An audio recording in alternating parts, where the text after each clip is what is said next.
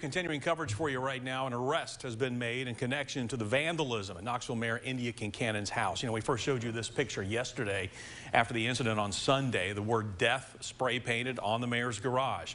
Knoxville police tell us their investigation led them to a suspect, Christopher Greg Fortner from Sevierville. He was arrested outside a Food City on Western Avenue. KPD credits city hmm. employees with spotting Fortner acting strange in the parking lot and recognizing the vehicle.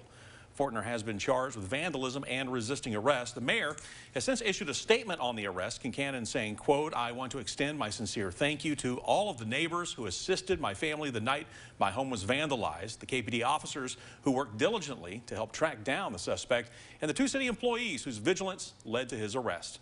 The mayor continued saying, quote, attacks or threats made against any public official will not be tolerated in our city.